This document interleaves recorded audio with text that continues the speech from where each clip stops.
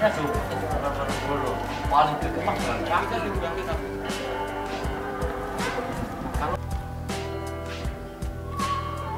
Mohon perhatian. Mohon perhatian.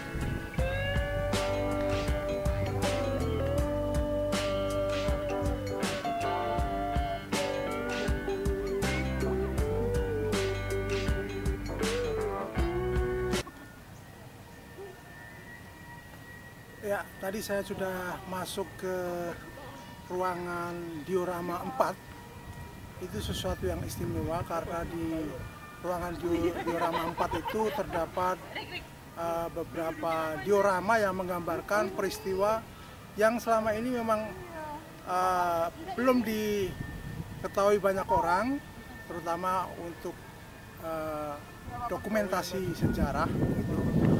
yaitu peristiwa eh, G30 SPKI di Yogyakarta.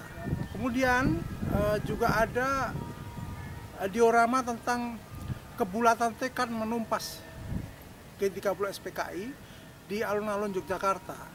Itu dipimpin oleh Kolonel Widodo. Ya. Dan itu adalah salah satu dokumentasi sejarah yang harus diketahui oleh masyarakat terutama bahwa gerakan G30S PKI waktu itu nyata ada bahkan sampai ke daerah-daerah apalagi di Yogyakarta seperti itu. Dari kawasan Beteng Frederbergs, Safuddin melaporkan untuk Berkota TV Kota Berkota. Salam berkota.